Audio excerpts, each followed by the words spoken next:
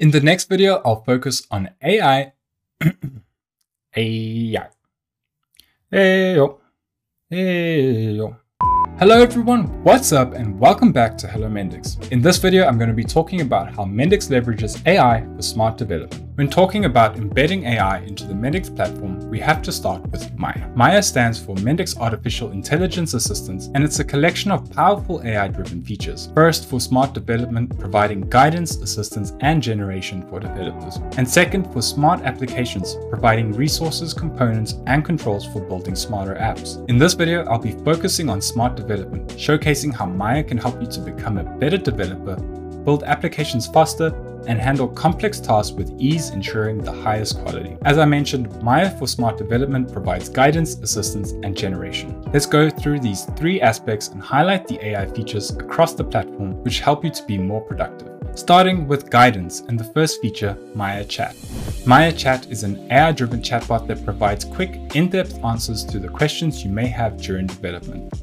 It's fully integrated with Studio Pro and accessible directly inside of the IDE with a single click. It's been trained on our documentation, forum, and Mendix Academy learning paths.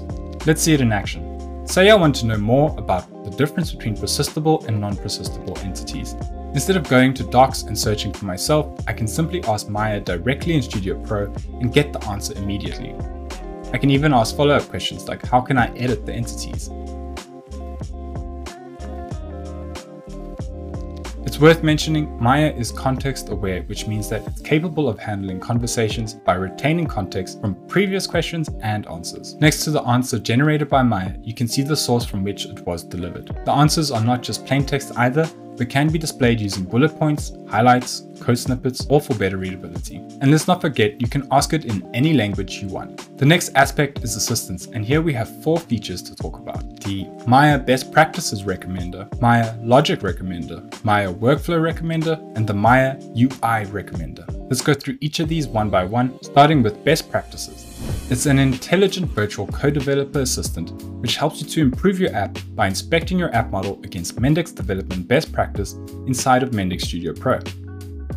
It detects anti-patterns during the design and development stages, it highlights problems pinpointing the issue and then recommends a fix to resolve it. In some cases, it can even automatically fix these issues. Just like Maia Chat, Best Practices Recommender is accessible directly inside of Studio Pro. It works both online and offline, no internet or signing in is required. The Best Practices Recommender provides real-time recommendations and guides you step by step to resolve the issues. It's all to improve the quality of your application, its performance and security.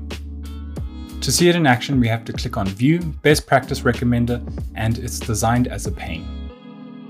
The next Maia Assistance feature is the Logic Recommender, which helps you to model and configure your application logic inside of Mendix Studio Pro.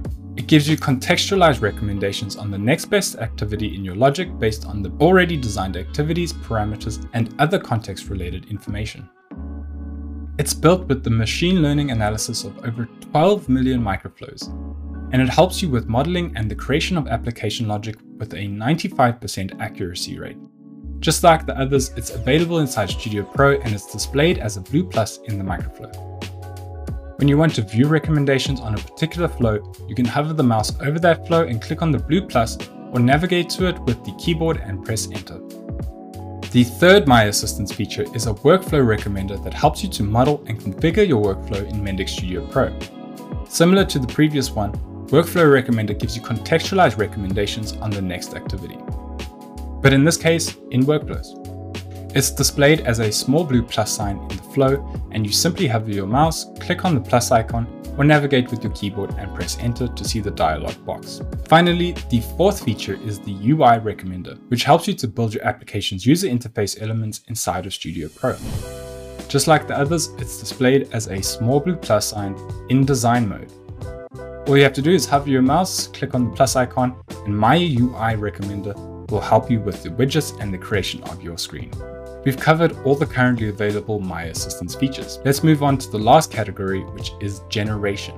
When it comes to generation capabilities, Maia can generate application components and automate development tasks to make the development faster and easier. Currently, there are three main generation features. The Maia Translations Generator, Maia in Community, and the Maia domain model generator. Since December last year, the translations generator is available in the experimental phase. It's an AI-powered tool in Studio Pro that you can use for batch translations and system text translations if you use Studio Pro 10.14 and above. Maia in Community summarizes lengthy Mendix community forum discussions into key points so you can get answers to your questions easier.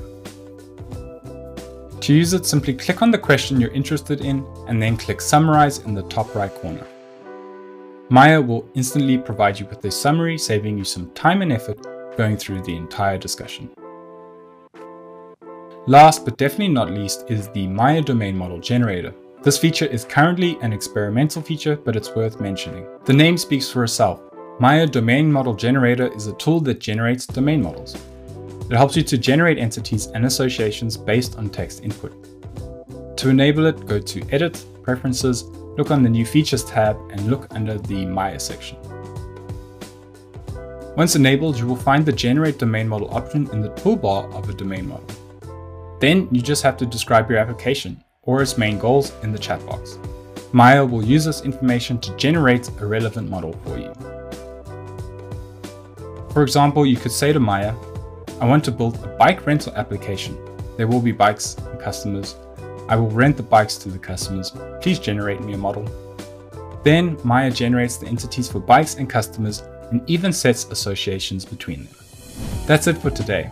In the description of this video, you'll find some useful links if you want to know more about Maia for smart development. In the next video, I'll focus on smart applications and AI embedded across the entire SDLC. That's all for now. Until next time, I'm Ryan Mockey, and this is Hello Mendix.